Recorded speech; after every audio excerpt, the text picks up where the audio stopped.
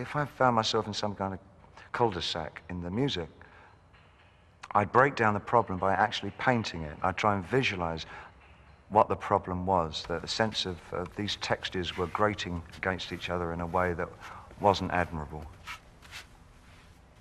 And I try and rec- I try and visualize those textures and paint them, and then find out what was wrong.